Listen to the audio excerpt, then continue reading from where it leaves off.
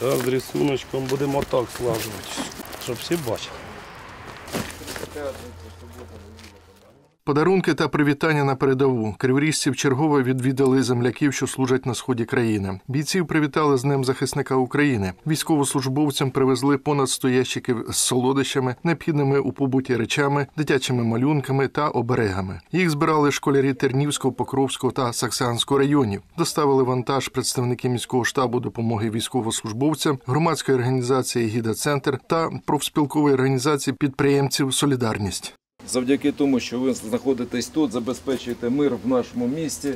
Місто живе, живе цивільним життям. Пройшли спортивні заходи, культурні заходи, був і полумарафон, і був велопробіг, і були виставлені козацькі курені, і людей було багато, і е, батьки з дітьми приходили. І все це завдяки тому, що ви знаходитесь тут. Подарунки від міста отримали бійці 78-го та 227-го батальйонів та військової частини Т-0400.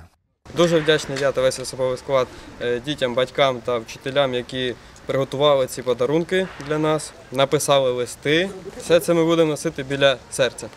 Представники штабу та громадських організацій на постійному зв'язку з криворізькими бійцями. Повернувшись до міста, одразу ж розпочали збір необхідних речей для чергової гуманітарної поїздки. Валерій Кожухар, Микола Замковой. Цей день.